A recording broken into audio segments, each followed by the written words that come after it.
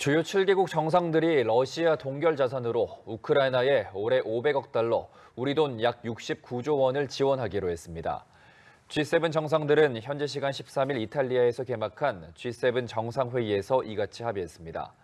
이들 정상은 동결 자산을 직접 처분하는 데 따르는 법적 문제를 고려해 동결 자산에서 나오는 이자 수익을 담보로 지원하기로 의견을 모았습니다.